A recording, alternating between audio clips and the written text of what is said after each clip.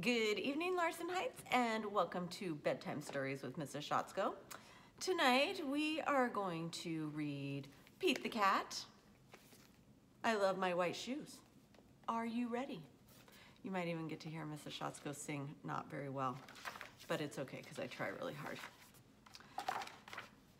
Pete the Cat was walking down the street in his brand new white shoes. Pete loved his white shoes so much that he sang this song. Those are pretty spiffy white shoes. I love my white shoes. I love my white shoes. I love my white shoes.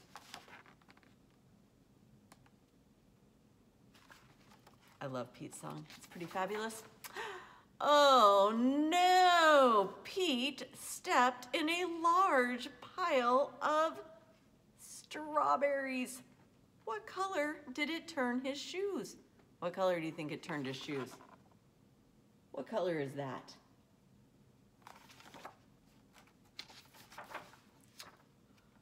Red, did Pete cry. Goodness, no. He kept walking along and singing his song. Everything is cool.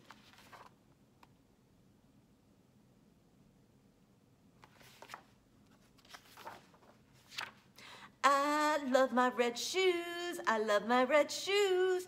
I love my red shoes.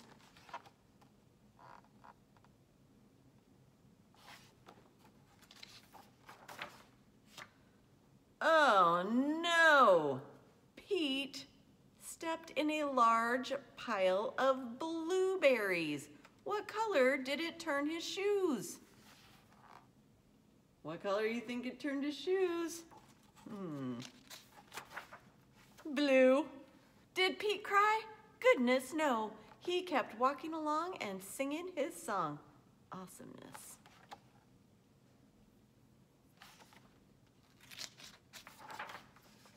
I love my blue shoes. I love my blue shoes. I love my blue shoes.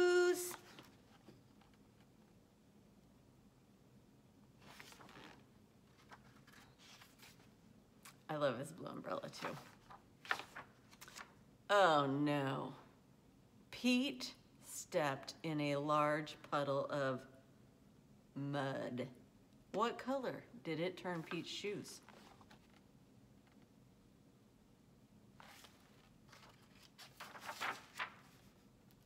Brown! Did Pete cry? Goodness, no. He kept walking along and singing his song, Groovy.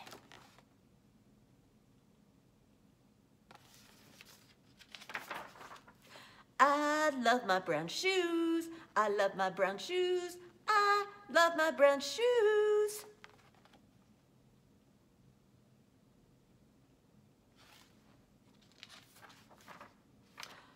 Oh no! Pete stepped in a bucket of water and all the brown and all the blue and all the red were washed away.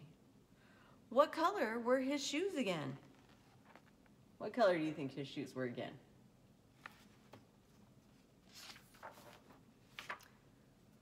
White! But now they were all wet. Ugh. Did Pete cry? Goodness no. He kept walking along and singing his song. Rock and roll groovy dude.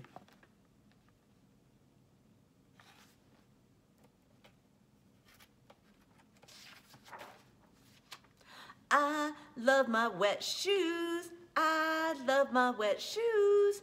I love my wet shoes. Squish, squish, squish, squish.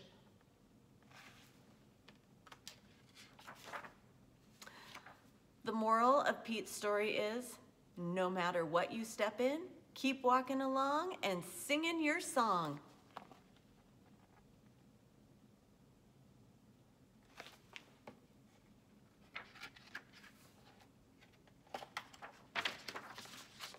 Because it's all good. So Larson Heights, it occurs to me as I read this book that I forgot to fill out my form for today.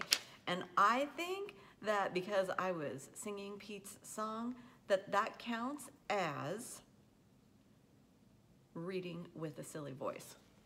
So I am gonna fill that in. I hope that you have a book at home that you can read to someone in a silly voice. Have a great night, Larson Heights, and I will see you tomorrow.